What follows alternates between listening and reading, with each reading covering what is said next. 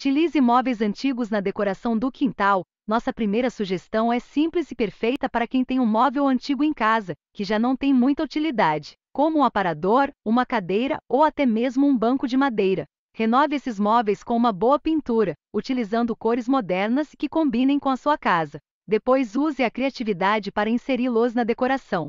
Uma boa dica é utilizar esses móveis como suportes para vasos de plantas, dando um toque original e charmoso para o S. Utilize